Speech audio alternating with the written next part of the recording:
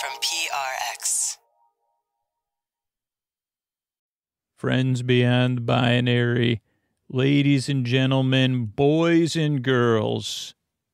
It's time for the podcaster that's here to get help you get into get get into I can't even say it. Uh, uh, everybody, uh, it's time for the podcaster who tried to say get into it, yeah, but uh, I tried to find out something. I stumbled over my words. So whether you're getting ready for bed, you're tumbling into bed, you're stumbling into bed or you're already in bed getting cozy. You're starting to run that bedtime routine and ease your way down. Or you just need someone, or your first time here and you're like, what in the hey, hey, hey? Uh, well, it's time for the podcaster that's here to help you as you get into bed, yeah? It's time for Sleep With Me, the podcast that puts you to sleep. All right, everybody, it is time to talk about uh, sleep phones, the most comfortable way to listen to sleep with me. They're uh, little uh, speakers or uh, earbuds. They don't have earbuds poking you in your ears. These flat uh, felt things in a soft, stretchy headband. So comfortable, way more comfortable than I am at describing their comfort. And you could get one with the Sleep With Me logo, Sleep With My Boyfriend, tons of other cool things. Uh, sleep With Me branded sleep phones. The only place you can get them is by using our link. Uh, you have to use this link, sleepwithmepodcast.com slash sleepphones. And then if you use sleep with me at checkout, you'll get five bucks off your order. So you'll support the show and you'll be listening to it in comfort. They have uh, three different versions uh, or four different versions now, uh, one with corded and a bunch of wireless versions. So anyway, you listen to Sleep With Me. I also use it for running, tra- on planes, uh, hotel rooms. Unbelievably comfortable. Sleepwithmepodcast.com slash sleep phones and use our promo code sleep with me at checkout for $5 off. That's sleepwithmepodcast.com slash sleep phones. Thanks everybody. All right, everybody. It is time to talk about tonight's sponsor, BetterHelp. Sleep With Me podcast is sponsored by BetterHelp Online Therapy. BetterHelp wants to tackle some of the stigmas around mental health. You might think that therapy is for other people, but utilizing therapy doesn't mean something's wrong with you. It means you recognize that all of us, all human beings have emotions, and we need to learn to understand them, not avoid them. You know, some people might think that you have to wait until things are really, really tough, almost unbearable to try therapy, but that isn't true. Therapy is a tool to utilize before things get bad, and it can help you avoid those lows. I use therapy on a weekly basis. It's a huge part of my self care, my well being, and how I can have my relationships with other people in all aspects of my life flourish. I get those tools I need to make my life manageable before I hit a road bump or a speed pot, a pothole. Uh, because of therapy, I'm ready when that happens. Uh, and BetterHelp is customized online therapy that offers video, phone, and even live chat sessions with your therapist, so you don't have to see anyone on camera if you don't want to. It's much more affordable than in-person therapy, and you can be matched with a therapist in under 48 hours. Give it a try and see why over 2 million people have used BetterHelp online therapy. And Sleep With Me listeners get 10% off their first month at betterhelp.com slash sleep with me. That's BetterHelp, B-E-T-T-E-R-H-E-L-P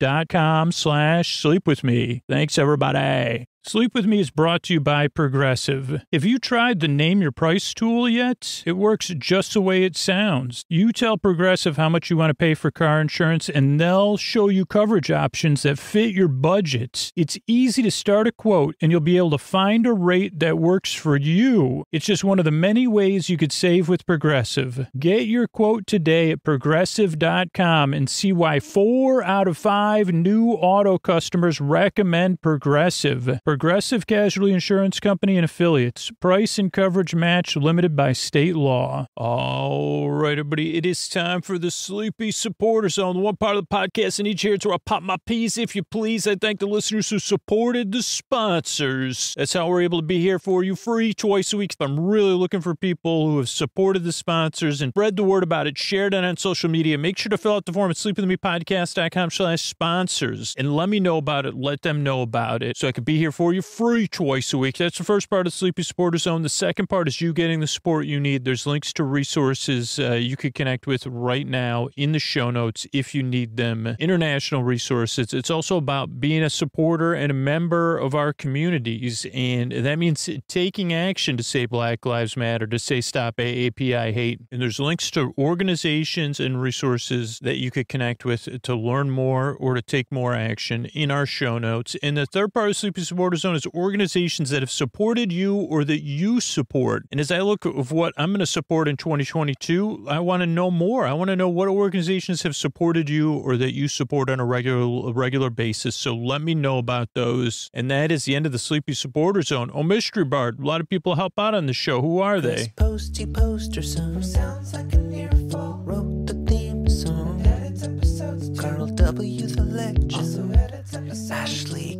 Kenny, Scotty, Jennifer. Runner, runner, runner. Eric and the team at Astound are on the website. I am the mystery bard. I do the lullabies, yeah. I do commissions at jonathanmann.net. I'll write a song for you. Any reason at all. You can tell me the story and I'll make it personal. You see the kindness shine straight on through when the listeners form their own Facebook group. Keith, Stacy, Sarah,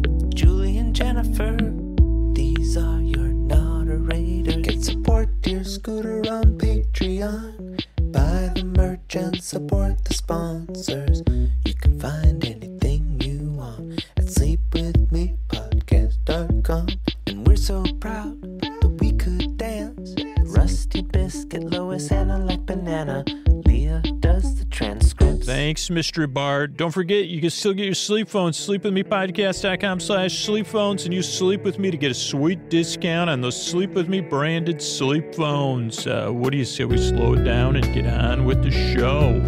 Uh, hey, are you up all night tossing, turning, mind racing, trouble getting to sleep, trouble staying asleep? Well, welcome. This is Sleep With Me podcast that puts you to sleep. We do it with a bedtime story.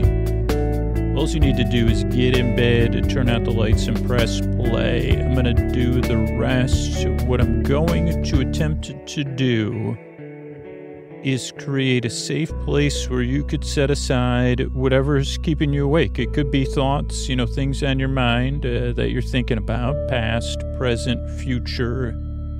It could be physical sensations uh, that you're feeling or something coming up emotionally. It could be changes in your time, your temperature, your routine, things, you know, they, things they, ha- they happen. And it's no, not, everybody says it should be easy, and it's not. Uh, it's not always easy. Even if it's easy, you could say that uh, you're having trouble getting to sleep. Let's just be, or you're saying, hey, I'm looking for some comfort. Like, uh, I mean, it's not even easy for me to talk, as you could see sometimes. So, whatever it is that's keeping you awake, I'm here to keep you company and take your mind off of it as you drift off. And the way I propose to do that, to help you fall asleep, to send you to sleep, uh, to keep you company, is to have a safe place here or there set aside. I'm smoothing it, I'm patting it, I'm rubbing it down, I'm stepping away. I'm using like a relaxing body language, really, even now, opening my hands and saying, there's a safe place for you to go check out. And then I'm giving you the space to check it out at your leisure or to send it over. This is one of those safe places. I want you to imagine that you have like, uh, this is a little bit dreamy, uh, but whether you're, you're ready to participate physically or mentally or just passively, this new version of the safe place that I just invented right now, it's a slidable, transferable safe place. And I'm picturing in my head one of those uh, hooks that people use usually when someone's performing on stage and they say, "Hey, come off stage. It's not working out." But this one, it's uh, it's made from a little bit more like uh, a gelatinous uh, kind of sticky but not sticky, like one of those things you, like that used to get. Uh, it was like a frog's tongue. It was uh, like I don't know, stretchy, and you could use it to pick up paper. but this one's not, it's virtual, though it could be real. And you could use it to bring the safe place to you. So you could flick it, or you could pull, or you could just mentally watch the safe place come to you wherever you want it. You see, and it can be moved later, like those furniture slidey things. Uh, you say, don't worry, we could slide it right over here if you want. Oh, I could, it could go upstairs, uh, virtually moves from the, through the walls and stuff. Uh, then what I'll do, or part of that process, is I send my voice across the deep dark night. I use lulling, soothing, creaky, dulcet tones, pointless meanders, superfluous tangents. So I go off topic, I get mixed up, then I uh, like kind of use extra words unintentionally, sometimes intentionally double back, all that stuff to take your mind off something and keep you company. Now, if you're new or you're you're somewhat newish to the podcast or you're looking at it through new eyes or new ears, or even if you've listened to a thousand episodes, hey, I got a couple things I want to remind you about. Uh, most important thing is you. You're important and your sleep is important. And the fact of the matter is, you deserve a good night's sleep. You deserve a place you can rest and get comfortable and drift off. That is the truth. And you deserve a bedtime routine and a bedtime you could at least feel neutral about, if not look forward to. Because sometimes, a lot of times, I have the other the other side of that for me. And if I can counter that uh, or lead you to something else that'll help, that's really important to me because one, the truth is it's important that you, you get that. You, you deserve it. And if you get the rest you need, you have something to wind down with and take your mind off of stuff and keep you company. Your life's going to be more manageable tomorrow. And that makes our world and your world a better place to live in. And if it improves even more and you can flourish, what, that, that benefits the entire planet. It really does. So that's one thing. Oh, the other side is I know how it feels in the deep dark night. So that's another reason why it's important to me. Now, this podcast does not work for everybody. It's very different. All I can ask is what thousands and thousands and thousands of people have told me. Give the show a few tries. It takes a couple tries to get used to because it is so different. And if you feel skeptical or frustrated or doubtful, see if you could still give it a few tries and say, well, let me just see how this goes. Uh, and I'll explain a little bit more about that. But that's really like hundreds of thousands of listeners have said, at first, I disliked the podcast. At first, I was like, what is this? And then after two or three tries, I realized, uh, oh, I could lower my guard a little bit because this doesn't even make any sense. The show never gets started, never goes anywhere, and it's always going somewhere and it, like it's always running. It's kind of a contradiction. So if you're skeptical or doubtful or feeling strongly, yeah, that's uh, understandable. Give the show a few tries. Or if you're already like, yo, this ain't for me, check out sleepwithmepodcast.com slash no thank you. It has a list of other sleep podcasts and sleepy audio you could check out for free. All that stuff's for free too. So there's that. Uh, uh, so you're important, your sleep's important. Oh, this podcast doesn't work for everybody. A couple of things you, you probably want to know if you're new or be reminded of if you're a regular listener is uh, the stuff that throws people off. So, one, this is a podcast you, you don't really listen to, but you can listen to it, uh, which is a little bit strange to hear. Uh, but yeah, you can barely, it's, that's funny. That's like a double. This podcast is a little bit strange to hear anyway. So it's a podcast as you develop a relationship with it. And even as we go walk through this deep, dark night together, if you're a regular listener, yeah, sometimes you might want me walking at your side talking to you. Sometimes you might want to lie down on the path and take a nap while I walk around. Sometimes we might even be walking in closer company. And then sometimes you say, Scoots, uh, like, I'm just going to listen to you. You walk, uh, I don't need you that, like, uh, I just need to hear your voice. Uh, and sometimes you might even you say like uh, so uh, see how it goes. Oh, but but this is a podcast you don't really listen to, need to listen to, but you could, and and that kind of goes with like I'll be here to the very end, whether you're awake or asleep, because this podcast also does not put you to sleep. It's here to keep you company while you fall asleep. I'm here more to be your companion in the deep dark night, or as this walking together metaphor goes, uh, to to be be keep you company while you drift off. To be your bore friend, your bore bay, your bore bud, your bore sib, your bore bestie, your bore bruh, your bore burr, your neighbor. To be your bore friend, and uh, so that kind of means one, you don't need to listen to me, and kind of you just kind of eventually fall asleep. Uh, or drift off. You never know. You you wake up the next day, say, "Was I? Did I fall asleep during that podcast? Was it running all night? Uh, did I set a sleep timer? Oh, let me try this tomorrow night." So those are two things that can be hard. But if you can't sleep or you need the show during the day, don't worry. Even though you don't have to listen to me, you can. And I'll be here. I'm here. I'm working hard on this episode from the beginning to the end so that it feels free and easy and that's so you don't need to listen, but you could listen.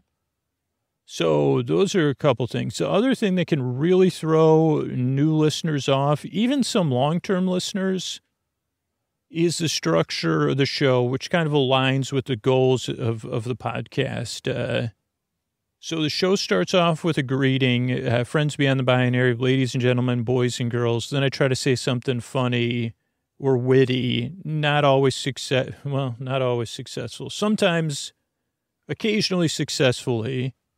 And that's so you feel seen, you feel greeted and welcomed in, and you say, oh, okay, this show is also a little bit silly and goofy. And maybe even at the first, you say, okay, this sense person's sense of humor is, uh, it's humor like. Uh, they have a sense of humor. They have a sense of what humor is. I don't know if they have a sense of humor a sense of humor. Uh, the sense, or how about this one? Sense of humor. have I come out with that as a fall collection yet? Sense of humor. Uh, my fall collection, uh, not appearing at any department store we know of, but in my imagination.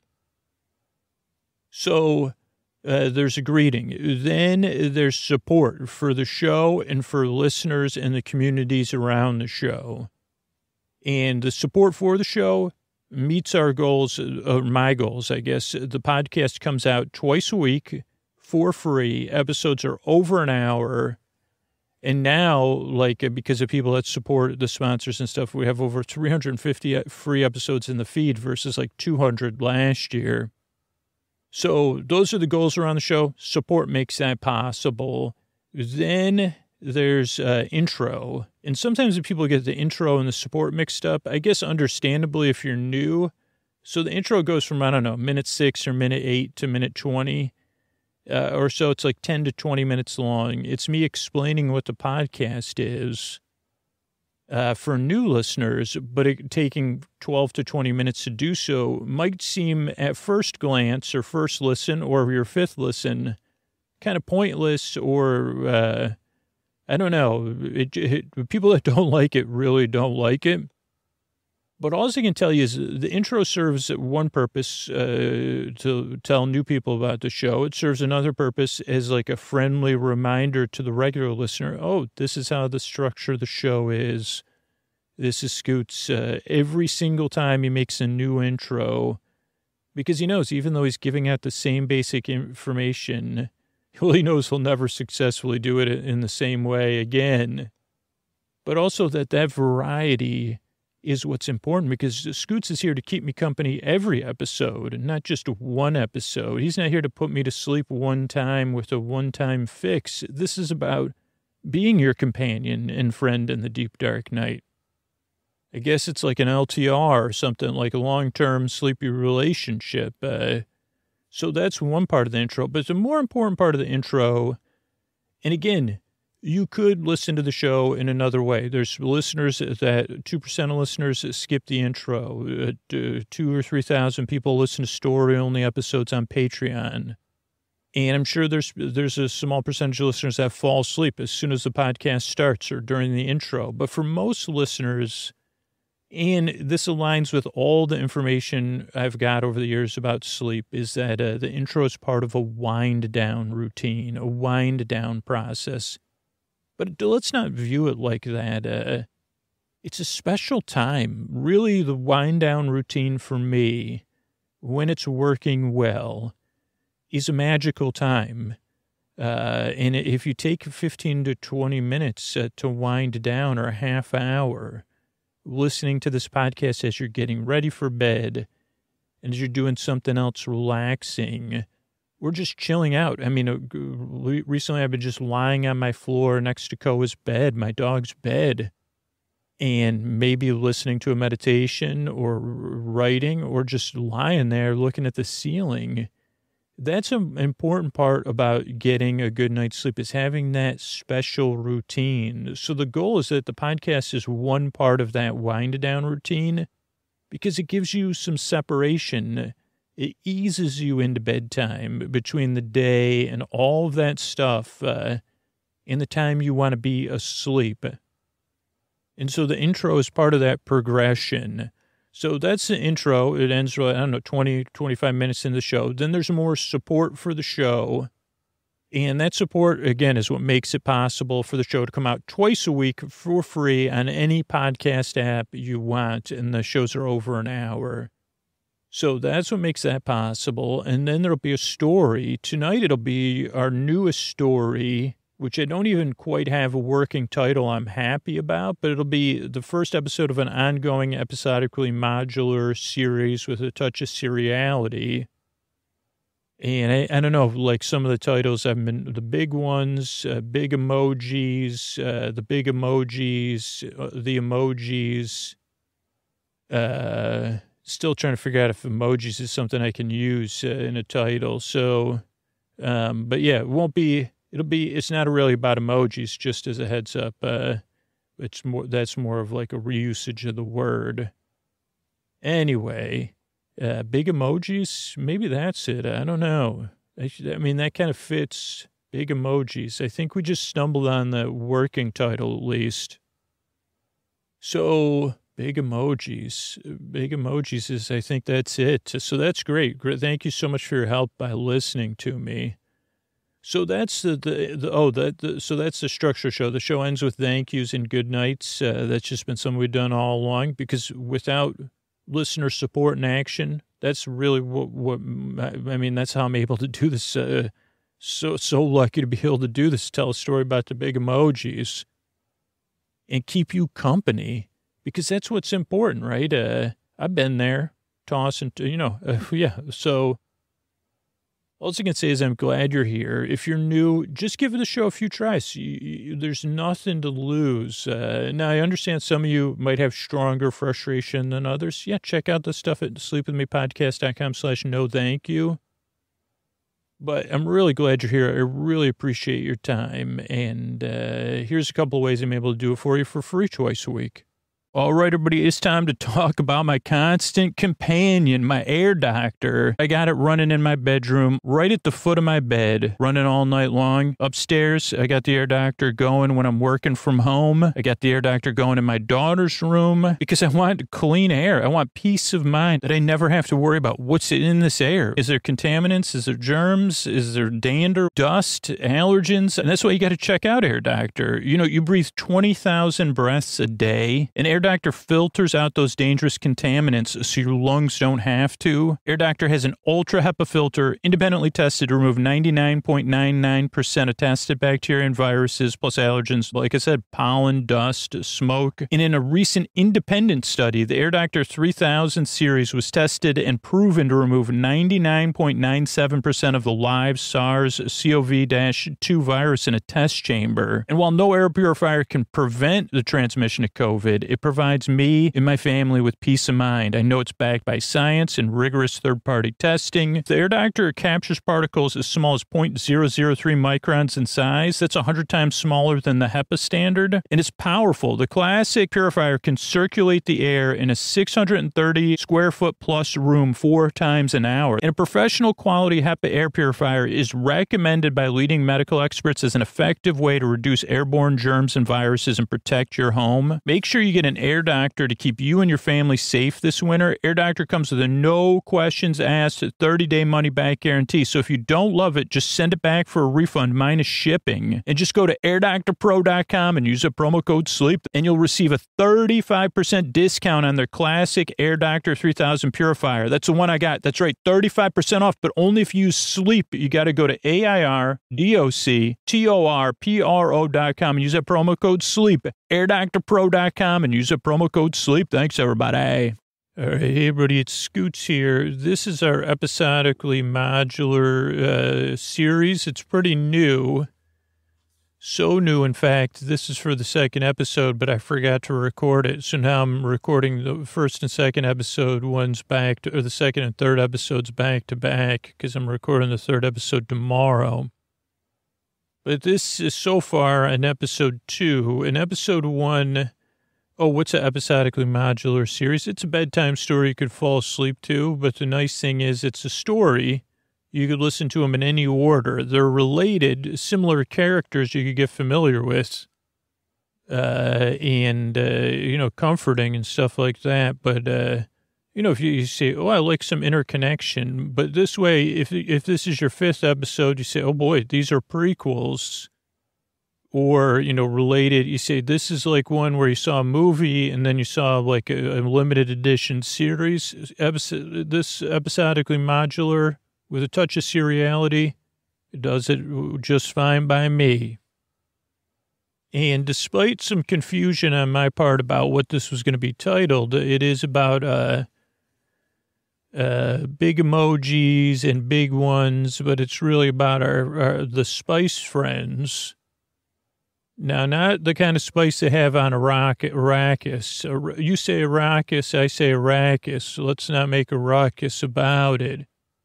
But uh, so okay, so what's the series about? It's it features two characters right now, two main players. Uh, they're working together, so don't worry, they're not in opposition uh, President, uh, uh, well, what you would call President Willow Smith. Uh, she's kind of president of the world, more or less, or the head of the uh, cooperative nations.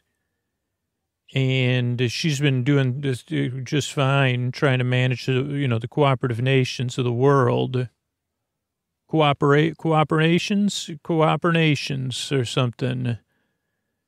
And President uh, Smith she uh, had been vice president of the United States with her father, and then you know life changed, and but now she's once again president. This time, or head of the cooperative nations. She's a great leader. Also, we have an astronaut, uh, an astronaut that had just returned to Earth. Uh, thus far, only known as the astronaut, I believe, and the astronaut had left Earth many, many years ago. Not that different of a timeline than we're when we're talking now. I think maybe a little bit after.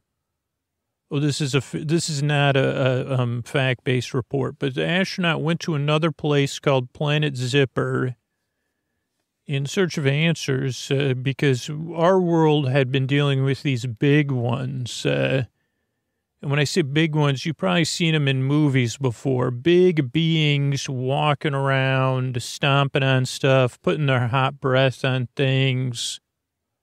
Some are lizards, some are dragons, some, uh, you know, other beings, uh, uh, mammals even. And uh, they, they caused a big ruckus here on Earth.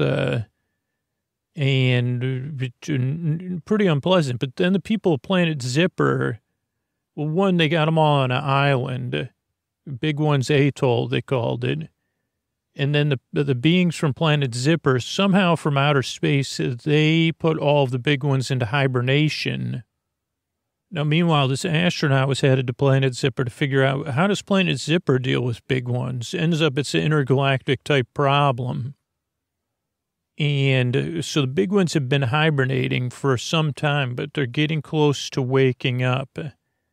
And so, obviously, as the head of planet, as the head of the, as our planetary leader, Willow wants to say, what are we going to do when these big ones wake up? Uh, we're waiting for this expert from uh, outer space to come from outer space, from Earth that went to outer space, come back after consulting with Planet Zipper and give us the info.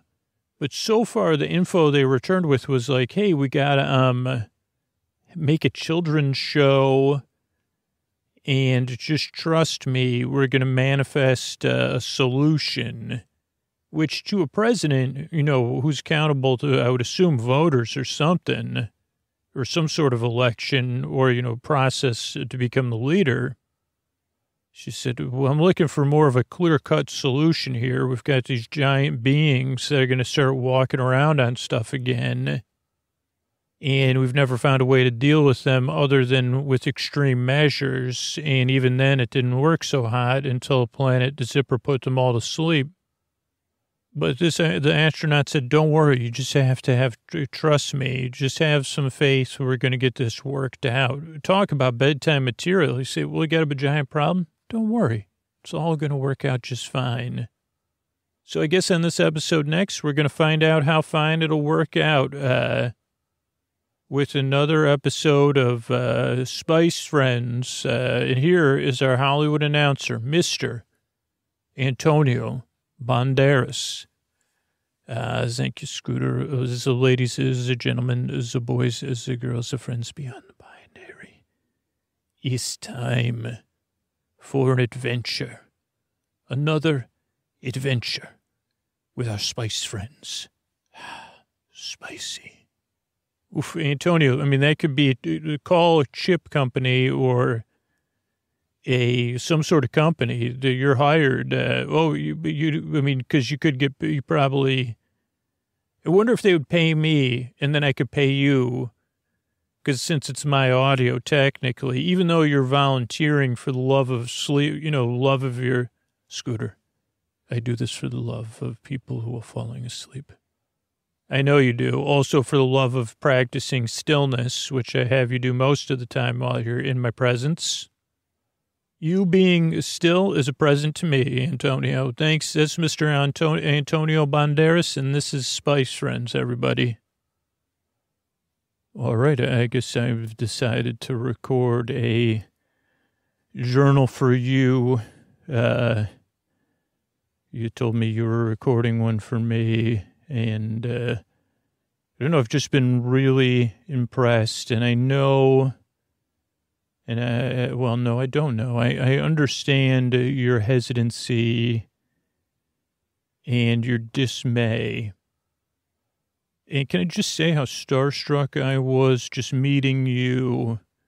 I remember listening to some of your music um, on on the flight, but uh, in your family, but but that is aside not what I was starstruck. It was. Uh, something in the way you carried yourself, in your eyes, and in, in your face, uh, your determination, your focus. Uh, that's where your dismay came and your disbelief because of your driven caring. Uh, and I, I don't know. I, I just, uh, I was taken aback by it, and, and I do find myself uh, in a position where I was looking at it and saying, well, maybe I came in a little too, you know, came in on a rocket uh, that looked like a comet. I came in a little too hot. But I wouldn't say hot. I'd say con- uh, my confidence blinded me to need to stay soft and open. And I guess I needed to have my own course correction forced on me. Um, which is somewhat of a space travel metaphor. So let me see, like, uh, of course, I, I sh- should have been softer and realized that the idea that uh, the joy of dance and song in the whole manifestation theory, it's again, that's only the way I can explain it because it is, I don't understand it either. I'm asking you to take uh, on something that I don't understand, right? Uh, how could the big ones have been formed and manifested? Manifestation's always been something that people would say is gaga goo goo. and it's just a word because I don't know other word to say. Created, uh, came, but where did they come from? They they appeared on Earth uh, or in the sea. So did they come? There are no scientific theories that can explain. Oh no, there's someplace in the center of the Earth they all live, and they come out from time to time. We don't have any scientific theories that said, oh, for sure they came from other worlds. I would say the fact that the big ones were on planet Zipper different big ones and some the same uh, makes this manifestation theory hold up uh, because we don't have any proof of them traveling interstellar in an interstellar manner. Also, I guess I'm just not an expert on it. I don't know about it. And talking about it, I have trouble believing because I'm trying to manifest a solution or start the train moving. I guess I just don't have. I wish Planet Zipper they didn't don't really think in metaphors and similes and uh, their stuff to explain, and a lot of that I've lost uh, uh, or tried to forget about. So where are we? I asked you to trust me, and I don't think you're sure about that. I don't think you do. And I, I was confident that you would come around and that you would see very quickly, I would quickly deliver results. And I also thought we'd have a little bit more time together. And again, I also had to catch up with everything that was happening with the companies we established through the Planet Zipper plan. And, uh, yeah, so where should I start with this journal? Just in case you're listening or anybody else is listening, maybe they need to hear my side of it uh, right now. I guess I'm unfocused, uh, and I guess that's okay. Of course, uh, who wouldn't be? this whole thing's about saying yes, right? Uh, saying yes to your doubt, saying yes to my doubt and my mistakes. Uh, and now saying yes to the fact that I just feel a little bit uh, fogged out. So what what I can counter is like uh, we met. I tried to convince you to set aside the how. We know the why, save the world. Uh, uh, but the, the how and the why of that how or the, the like those hows and whys to set aside, and, and it's probably asking a bit too much. And so the next thing was to start a test. I met with the writers. I met with the team who also had no idea uh, really what was at stake, you know, other than this launch of uh, the first show and that, uh, so they were a bit confused. Now I did uh, the the like, uh, but they said, okay, who? Why wouldn't we have uh, the astronauts be a part of it? And and then there was a lot of debate in the room. And again, these are some of the top uh, writers in show. It was an amazing team that was put together.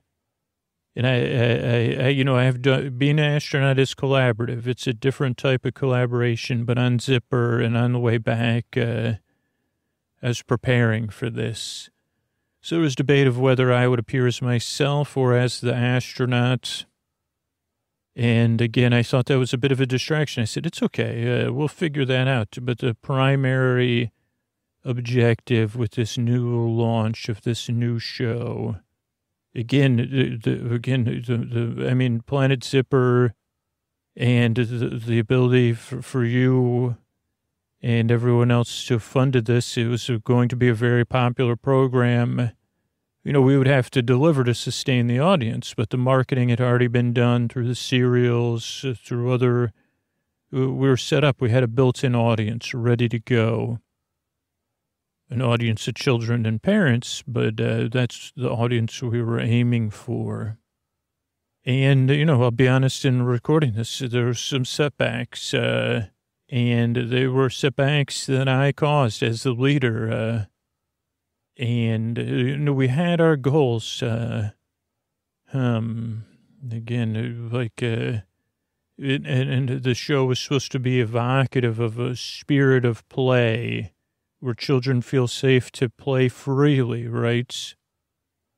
Where they have fun, where children have a shorter memory. They scrape their knee. Ideally, they feel those feelings, or, or you know, they metaphorically scrape their knee and they move on. They let things go and a lot of the work uh, again was uh, a great collaborative effort uh, to to kind of help the children understand what it means to fully feel and, and all those things. And, and again, it, the timing was right with this project, and the mission was right because it was an intense time to be a child or a human being. And again, while while the, the, the executive team was tracking things, they said, "Yeah, there's a lot of adults that get a lot out of it." what we're building towards. And this also added to my confidence initially. After our first conversation, my confidence went down a tiny bit, but then seeing all the amazing people we'd be working with and hearing the excitement, uh, hearing their excitement to be working on this at such a time, all that. Uh, and again, we also had, we, we were also aligned with some of the backup plans. Uh, and I didn't think we'd need to do them. And, you know the backup plans of uh, uh, that you've been working on, which we'll talk about. But uh, uh, I guess any backup plan can't prepare you. Even I, you know, I traveled to another world uh, that we didn't even think was possible, and returned to Earth. I'd seen things that I couldn't even explain. But uh, nothing can prepare you for when the uh, things start to come in from the reports start to come in of stirring on big, big ones atoll and uh, you know that was kept uh, very close to the vest but it quickly spread and of course those were constantly false reports and true reports but this one was finally true and then it was determined that moth breath was the big one that was stirring, which was not on anyone's radar. Moth breath was always kind of one of the big ones that people, I don't know, they say, well, it's just moth breath. Uh, of course, you know, people that experience moth, moth breath, moth, you know, mothing or breathing uh, have a different story. But, and the fact that that was who was awakening and again, you came back to me, and obviously it was a time when everything was on edge, the whole world. And we were working on our first test rehearsal with a real audience and a virtual audience of uh, members of a kind of like what you would call like a street promotion team and our membership clubs. And we we we were doing a live rehearsal. You know we'd already had a few rehearsals uh, and everyone was again excited. We are going to lay out this first episode with uh, the joy, joy, you know joy of dance and song. We we're going to lay out this first dance with this first uh, well, I guess I'm getting ahead of myself because I had already got ahead of myself. I told all the t- tracking teams on your team that you'd given me access to, to all of the staff uh, that reported to you, but you said to report to me as well. I said, watch that equipment, seismic, uh, whatever UHF or whatever other signals you're watching. You know, I know you're focused on big ones, atoll, but focus on the whole world too.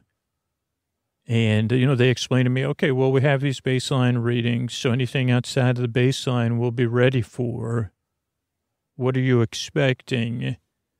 And I said, probably a blip. Uh, and they said, even a blip uh, we'll notice. And I said, well, what about if someone, you know, drops like a heavy weight? And they said, that's in the baseline. And I said, so something outside of the ordinary would would and they said yeah uh, something non or like uh, they said what are you thinking i said well what if like say what if there was like a a big one somewhere we didn't and then, that distracted them but i said you know that we didn't know about or something And they said, yeah, yeah, w- w- w- don't worry. We'll be watching the equipment. We'll be watching the tests, live feeds from the entire planet. Any readings will have results. Uh, if a person sneezes in Siberia, it's in the baseline, but uh, if it was uh, like a world record sneeze, we'd know about it, and but we'd know about it, uh, and then we'd be able to compare it to previous data, and we'd know, oh, okay, that's just a. And I said, really? And they said, yeah, we, we overlay all the testing. And I said, okay, I'll trust you. I'll trust you. And they said, you can trust the data in this case. And I said, but isn't it abnormal times? And they said, well, we've been tracking. Ab-. They said, yeah, we've had this. Uh, this isn't very new. T- we have some new technology. Most of this is technology that's been around for a long, long time. And then you pat, one of them patted me on the shoulder, and I said, okay, okay. And so I went to the first rehearsal. And again, this was a smaller audience. We had another rehearsal set up. Uh, and we kind of ran through everything that the team had worked on based on the instructions from Planet Zipper and my instructions. And we were just kind of doing a teaser. We weren't doing a full run through of, uh, of this portion of the episode or the show, but just the beginning of the dance, uh, which was this welcoming motion that, again, everybody could participate in a few simple set steps, uh, just like you were welcoming someone into the room. And what you would do with your eyes, how you would make your face look to make them feel welcome, how you would open your arms and then back, uh, go forward, then back up to welcome them in, to let them know you see them and you're happy to see them, to say, not just with your eyes and your body, but with your heart uh, and your song. Uh, welcome. Uh, come on, you know, like that was all you were saying, and that's all we were singing. But that uh, there was more layers to it, of course. Uh, and that you could use other words, and again, they were translating those internationally you know, to use to say, hey, how can I say welcome? You're special. Welcome. I see you. Uh, welcome. You have value. Oh boy. Uh, and we did that. Now, at the same time, understandably, everyone watching and everyone working was distracted by the events. But we did get uh, caught up, I felt like, because we were just doing this one sequence and they called it the oh, oh, oh welcome sequence because I guess that's one of the ways I talk. Uh, and we rapped, and everybody felt some relief, and there was a lot of uh, body language and connectedness, and, and audience, uh, the, the the the adults and the children, uh, physical closeness, because I think it had a bit of an escape, and and and and. Uh, a catharsis. And now, unfortunately, as a catharsis, we had to return to the real world after. But again, we talked about that, and I ran down to get the test results, and uh, there was none. There was no blips. No, no, I said no blips, no blurps. They said no blips, no blurps, no bloops, nothing, nothing. And I said, can you run back through the last 12 minutes? Uh, and they said, we're, yeah, we, we can do that. Uh, we don't have to run back. Yeah, we, there's nothing. And I said, nothing now. And then they said, we're, they said, you want to watch for a while. But that was when, and they, again, they explained to me after this happened that even if uh, that the data is, uh, that this wouldn't mask the other data because even afterwards I say, but is there any other results? I was distracted by what I wanted to see. But that was when moth breath also started to fully move. And moth breath uh, started spreading its wings and moving. And so, of course, I was coming through on the tests as well. And uh, now I had my own dedicated people, but even they were distracted by this fact. And there was a big hullabaloo. But they also told me there was nothing else happening in the world that was outside of the me- mean or median or mode. I don't know. So that was uh, a bit of a blow for me because I was confident that I would have something to bring to you. And I had a meeting with you, of course, and you, you, you had already known there was no results from the test. You already knew that information.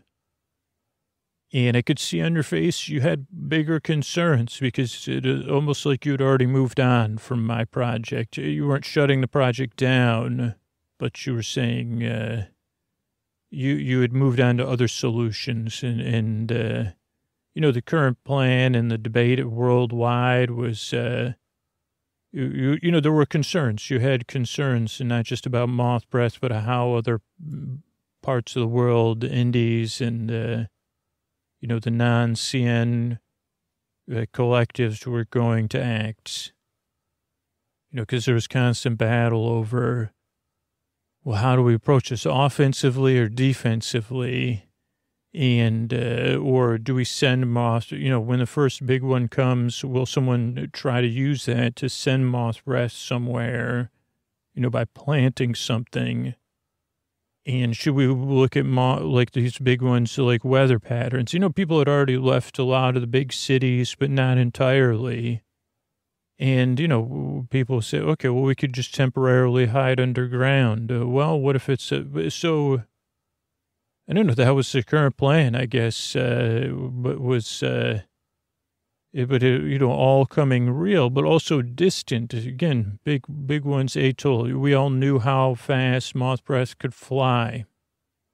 And while we were in our meeting, moth breath started to fly and you had given me clearance. So then when they came in and said, yeah, the, uh, you know, how did this start? Why moth breath? That was another concern. What would be next? Uh, there, there was other activity at the island, not big ones activity, but, uh, people that praised moth breath in particular, a group of, uh, a large, large group actually that had moved onto the island secretly and had taken control of uh, a remote part of the atoll that, uh, and they had established a moth breath based belief system. And it, it, was believed already at the time. And, and I guess the strange thing was that they were doing some sort of welcoming type song and dance uh, for moth breath. Uh, and it was very religious in a sense. Uh, they were praising and welcoming moth breath and chanting and singing. And some of this leaked out to the news. And so then it created another level of uh, public interest and concern. And moth breath started to circle uh, uh, big one's atoll, and, and everyone was watching and, and saying, well, where, which way is Moth Breath going to turn? Why is Moth Breath just circling?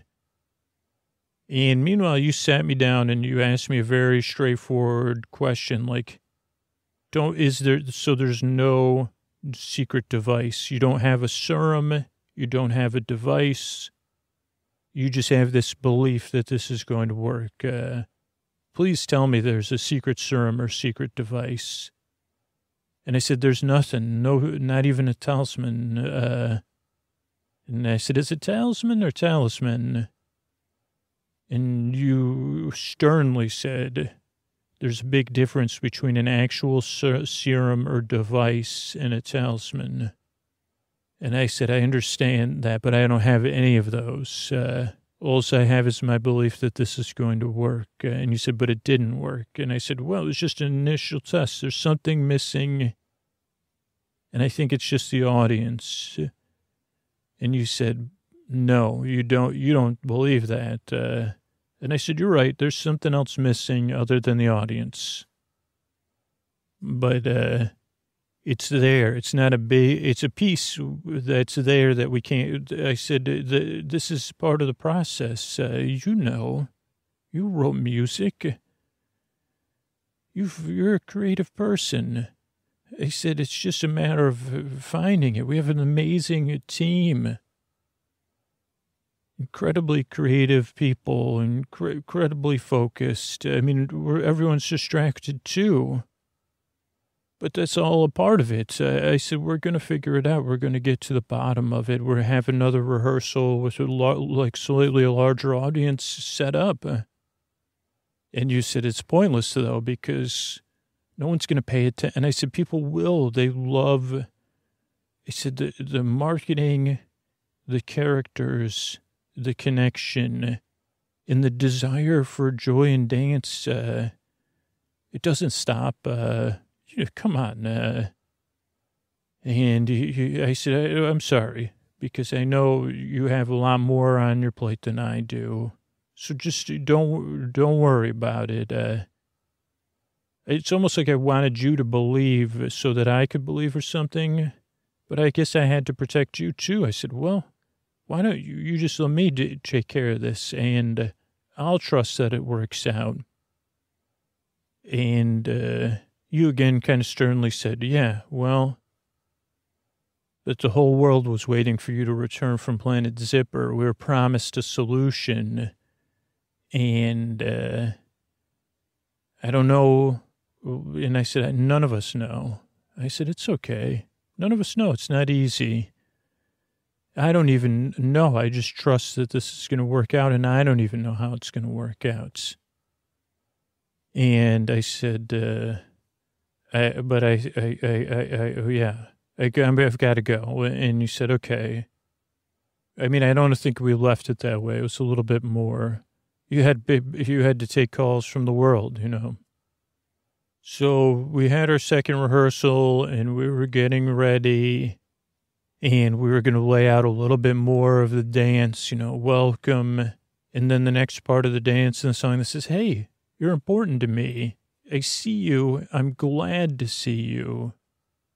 And, oh, I see something else is going on with you.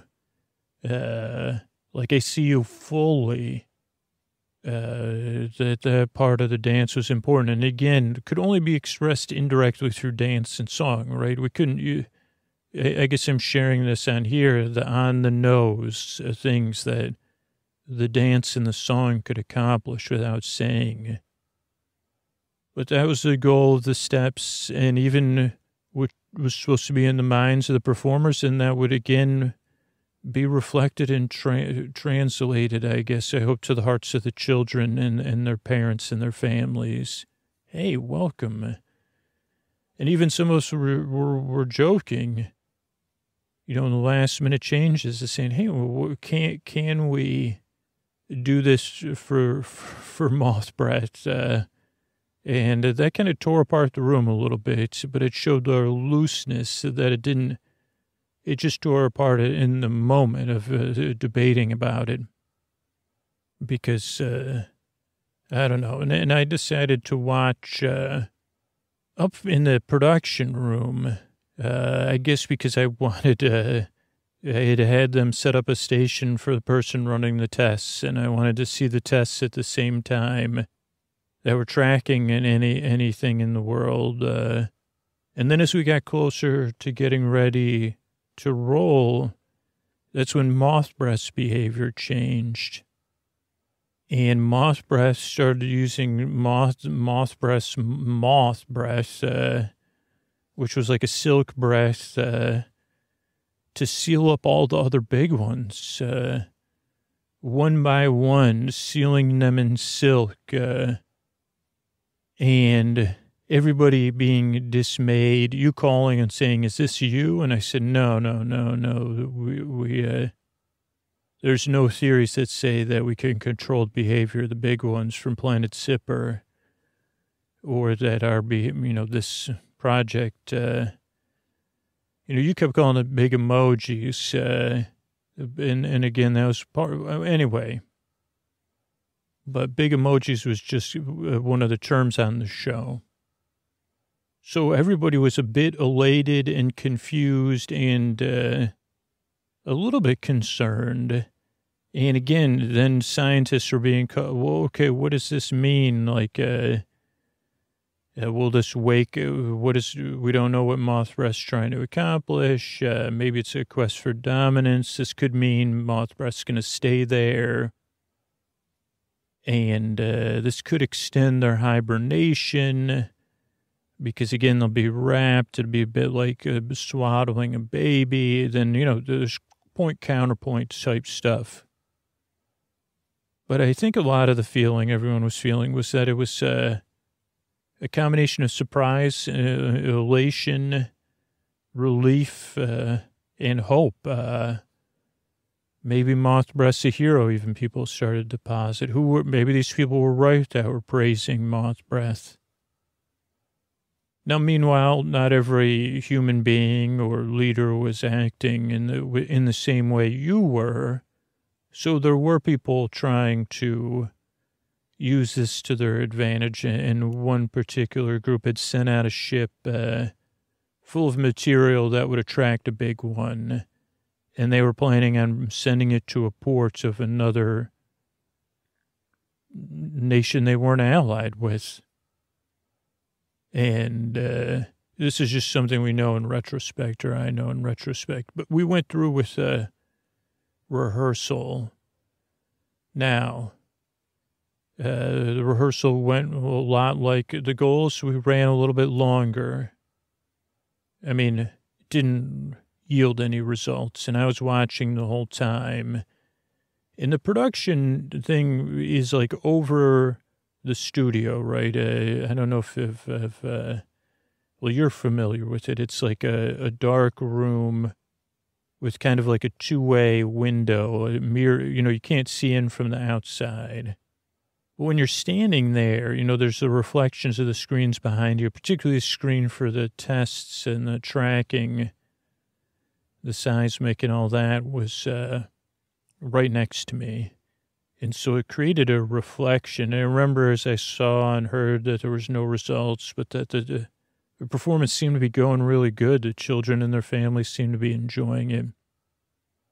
It, uh, it, uh, I caught my own reflection in uh, staring, and instead of looking into the studio, I was looking in my own eyes, and I was seeing uh, doubt. Uh, I was seeing tiredness. I was seeing a weariness uh, because I knew that that I don't know. While everybody else was hoping this was for the best, I wasn't so sure. When big ones are involved, uh, and for my time on Planet Zipper, I just said there's got to be something more to this. Uh, and also just disappointed. There was no clear results and nothing. No blips, no blurps, no bloops and my shoulders sagged. And, and, now again, no one else on the team really knew that uh, uh, they they might have been confused, or they thought that because I was the astronaut, uh, you know, I was concerned with moth breath and Big Ones Island. They never made the uh, connection uh, that uh, you know they thought they were just doing their job, creating something fun for for for everyone to enjoy like that that is uh, you know the the goal of people creating stuff sometimes or one of their goals uh, and they were succeeding but again it wasn't quite there. And not only did i know it uh, the team knew it. They didn't have the same. So we met again and we went over how did the rehearsal go. People could see i was d- d- down. And, you know, they said, don't worry, we'll, we'll, we'll get to the bottom of this. And they were brainstorming, and you called me. And I said, I have to step out uh, and talk to the president of the world. And everyone had a laugh. Uh, but they knew, you know. And again, sometimes people say, why are you involved in this project? Uh, that's really, and I, yeah, I said, well, this is, uh, the children of the world are the most important resource we have, of course. Uh, and, I, and they said, well, I said, what am I going to do? I'm just an astronaut. And they said, but then you bring, and they said, you know, that stuff's confidential. I can't talk about it. But anyway, I went and I met with you again. And we talked, and you said, you see, you've seen, you've been following what's happening. I know there's no results from your tests there. And I said, yeah. And I said, following what's happening. And you said, what do you think? And I said, well, I don't know what to think. I know I don't feel good. I feel, I don't feel worse about it, but I don't feel good about it. And you said, did you notice anything else? And I said, yeah, there seems to be a large group of, uh, uh, and she said, yeah, there's actually, they're not just on the atoll, you know, they have, uh, they're, they're, they're operating and, and uh, controlling, uh, an indie nation or like they moved into a city that like a lot of people left. And uh, she said, yeah, they're, they're like, uh, they b- believe in moth breath.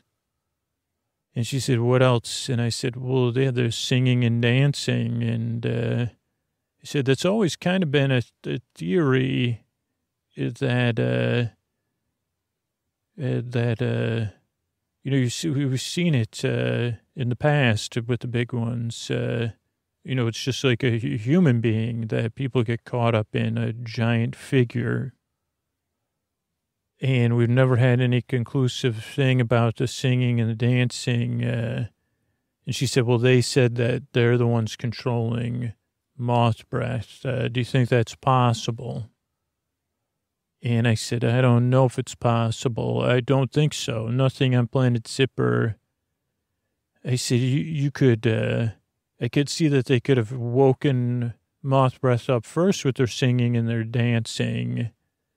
And she said, but there's something hypnotic to it, right? And I said, yeah. I said, but why are you saying that? And she said, well, they said, uh, they said that they're making demands and they're saying without the demands, uh, that moth breath will, uh, moth breath's going to be the only big one and they control moth breath. And I said, interesting. And I, I said, do they have any proof of that? And you, you said, yeah, moth breath, I don't know if you heard, but moth breath left uh, big one's atoll and is headed out to the sea. And I said, oh, well, that's interesting. Where, which direction? And you said it's pretty clear from, you know, our intelligence uh, that uh, there's a ship uh, full of uh, spent material and it's in the middle of the sea. It's heading to a port. Uh, and you said it came from, you know, this other co- cooperative uh, group. and, you know, they're going to plant it in the port. And Mothbreath headed to the ship. It's we, we expect that's where Mothbreath is, he, is headed, and we'll get there while the ship is still in the middle of the ocean. Uh, but also the the the, the group that the Mothbreathians, uh, they said that was what would happen, and that if we don't follow, you know, what they want, which is pretty. Uh, they said, you know, we got to supply stuff for moth breath to consume and uh, a lot of other resources, resources we need. They want sent uh, uh, to the, the, the nation that they're they're controlling and the city they're controlling. And do you think that's possible? And I said, well, it sounds like it, it could be. Po- I don't think it's uh, probable, but it could be possible but I don't understand how they would communicate with like, uh, and he said, well, what do you mean? And I said, well, I realize you're going to kind of throw this back at me, but what if, uh, they're behaving away and they want Moth Breath to behave away, or they want you to think they're in control. But yes, they could have woken Moth Breath up first. Uh, but if you were moth breath and you woke up, wouldn't you behave? Wouldn't these be the same steps you would take? And you said, What do you mean? And I said, Well, okay, so you're moth breath. You wake up, you see the other big ones, you, you fly to get your wings back in order. Then you see the other big ones slumbering, uh, rivals of yours. So you seal them up. Uh, you would do that. Uh, even if someone was saying, you know, maybe they're helping energize, you know, and then the next thing you would do is uh, get your bearings, and if you detected uh, somewhere motion and spent material that attracts you, however that works with the big ones, uh, some sort of part of their limbic system, you would be guided towards there by your nature. So it doesn't seem to me uh, that uh, like uh, that they're necessarily in control of moth breath, uh, but they could be. They could be. And then you said, well, what would moth breath do next? I said, well, moth breath would go to the ship. Uh, I don't know what moth breath would do, but uh, consume the ship, take the ship, seal the ship. Uh, and then what you said? And then I said, well, either return to Big One's Island or follow the trail. The ship will leave a clear trail for a big one to follow. I don't know if that whoever sent it out thought of that. Uh, but if they didn't think about it, uh, they're going to, uh, moth breath, that's where moth, moth breath will go next. And uh, you said, okay, well, why don't you get back to your rehearsal then? I know your show goes live very soon. And you were right, and we went back in the meeting, and I said, okay, how's everybody feeling? Uh, and you know they you were asking for everybody was concerned about uh, moth breath uh, and uh, wanted me to answer questions. I said, okay, I think it's going to work out. Uh, do you think that like they're in control of moth breath? Uh, everything had been on the news, and I said, let's focus on what's missing from the show. And uh, you know we have all this these steps, but something's clearly missing in our welcome, welcome, so glad to see you uh, thing. And uh, I said, what, what are the problems? That, what is missing? And a couple ideas came up, uh, contrary, contrary ideas uh, from different uh, staff members, which was amazing. And this was an all staff meeting. It wasn't just the writers. And uh, someone said, I think that uh, one thing that's missing is uh, who's dancing and who's singing. Right now, we have human performers, but the children were introduced to the show through the serial characters and one of the and, and the toys and all these other things. Uh, and I feel like we've tried to humanize the show too much. Uh, and then we're just going to run these cartoons or animated shows uh, between the variety segments with humans. And I feel like that's missing. And I said, So you're saying we're missing a spice friend? Because, yeah, again, we'd gone to this big emojis idea with, you know, with the Spice Friends being just a, a side thing. You know, it made sense. Big ones, big emojis. So it's the whole goal of the show. And then I thought about looking at myself, uh, and I said, wait one second. Uh, uh, give me a second here to process what you're saying. Everyone process what she's saying for a second uh, before I step on it. Uh, and then we can ask more questions. And I know there's someone else with a pending idea. But yeah, I was thinking about looking at my own eyes uh, and looking through to the audience at the same time. And I was seeing my tiredness, and I was kind of seeing beyond it too. And I said, okay, Okay, I hear what you're saying. So we're missing one of the spice friends.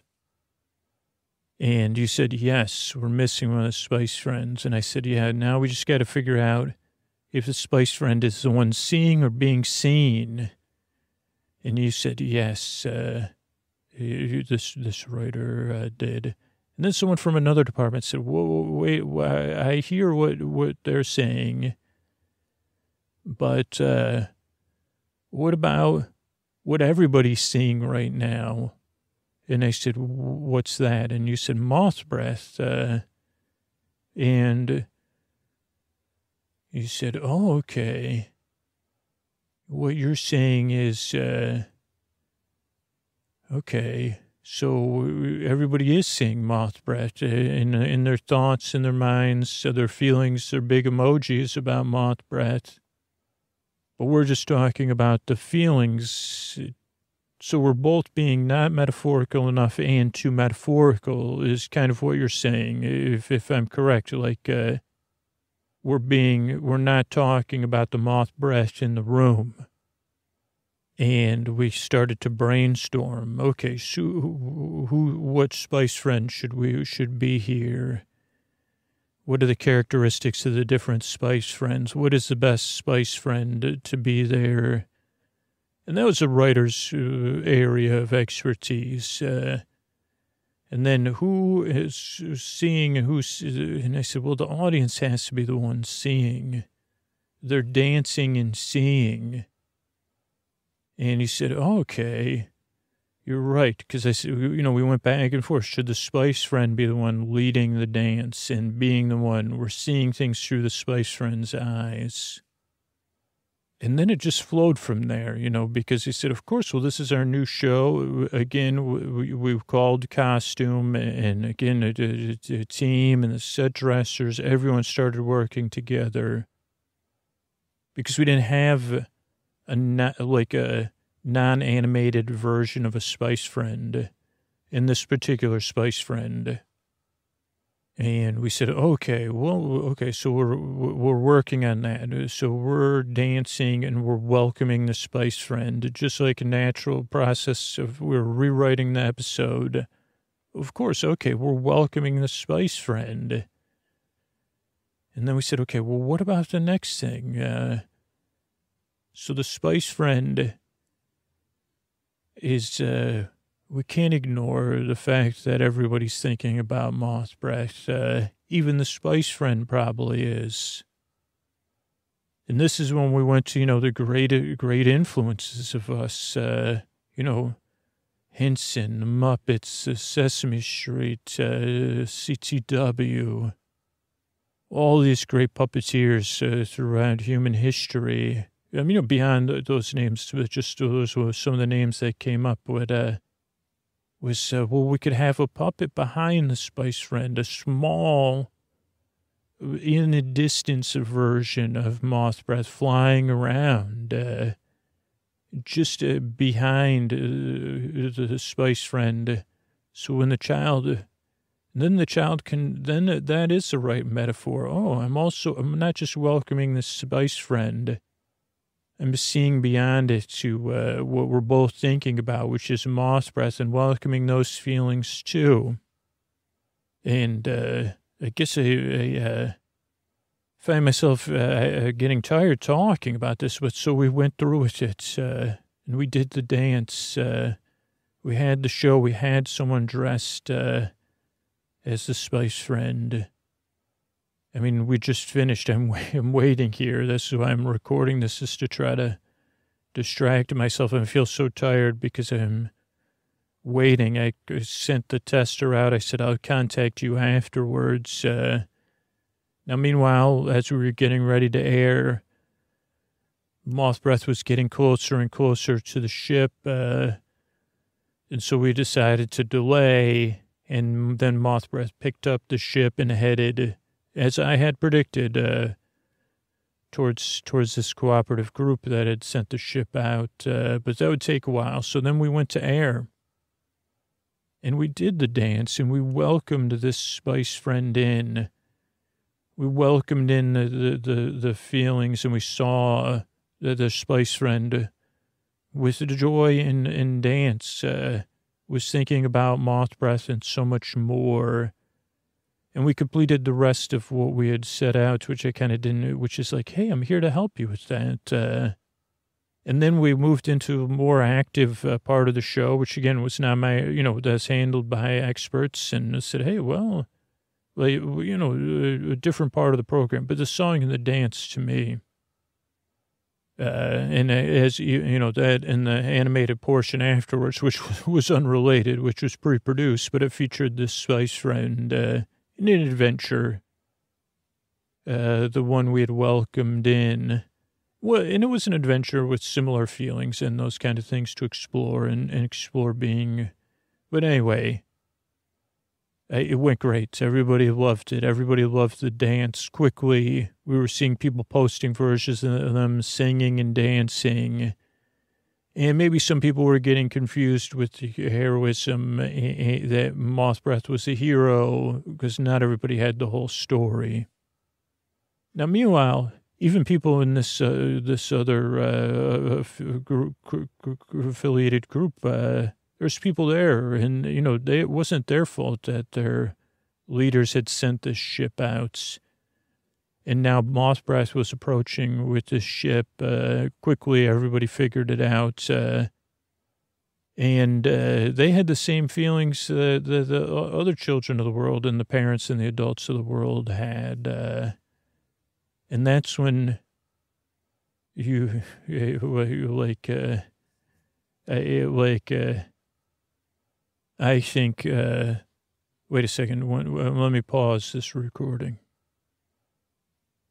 Okay, I'm back. Uh, I guess I'll, I'll, I'll stop recording, but there's reports uh, that rising from the sea is, uh, uh, you know, there was a blip, there was a bloop, and there was a blurp. Uh, that was the first report I got. Uh, and then, you know, as the moth breath still has like a few hours till it reaches, makes landfall. Uh, rising from the shores of this other uh, uh, affiliated uh, this this other country full of people is a giant smiling cinnamon stick being uh, a big one but it has big eyes and a big smile and it's doing the welcoming dance uh, and no one can believe it. You couldn't believe it. You called me uh, we don't know what's going to happen next, but we know that uh, that it worked. Uh, that we manifested uh, our our own spice friend, and and I, I, can you know of course you're like, well, what if the spice friend turns around and starts stepping on the city? And I say, well, then we'll kind of be we won't do it again. Uh, we won't be in that. Maybe I said, oh, that's that'd be unfortunate, but I don't think that's going to happen. I think the spice friend is going to wait and and deter moth breath and and help everybody. But uh, everybody already feels a bit better because they're doing that dance uh, and they're saying, "Welcome, I see you." Got, got those feelings about moth breath. Uh, I can see that. Uh, I'm dancing here to welcome you in and singing to you because I know how it feels. And I'd like to help you. So I'm going to try to rest uh, while we wait uh, for landfall, and uh, I'm sure I'll be recording an update soon. Thanks for listening. All right, I want to thank everybody who became a patron recently. Thank you so much. Uh, thanks, thanks, and good night to Gary, not Jim, and Nikki. Thanks, thanks, and good night to Scott, Dave, and Angie. Thanks, thanks, thanks, good night to Brandy, Hannah and Nicholas. Uh, thanks, thanks, and good night to Ashley, Woozy, and Peter. Thanks, thanks, and good night to P337R, Liza, and Sam. Thanks, thanks, thanks, thanks, and good night to Ed, Carolina, and Michelle. Thanks, thanks, thanks, and good night to Joanna, Emily, and Janice. Thanks, thanks, thanks, and good night to Sally, Michaela, and Connor. Thank you. Thanks. Thanks. Good night to Jennifer, Caitlin, and Allison. Thank you. Thanks. Thanks. Good night to Kristen, Brandy, and Kayla. Thank you. Thanks. Thanks. Good night to Johnny, Heidi, and Teresa. And thanks. Thanks. Good night to Hannah, Jennifer, and Nick. Thank you. Thanks. Thanks. And good night, everybody. Uh, real reason I thank those people are because I'm really thankful. Like the show is able to be free for everybody on all platforms with all the extra content we have in the feed. I think we're getting close to 400. I think the last time I looked was 370 maybe, uh, which is really cool. And uh, that's because of the people that support the show on Patreon and the, who support the sponsors. So I really appreciate uh, all the support. You can also support the show for free. Join our referral program. Spread the word about the podcast. Sleepwithmepodcast.com slash refer. And, uh, you know, adding the episodes back in the feed. It's been one of my goals. And these sleepy end of the show sponsors are part of that. Thanks and good night.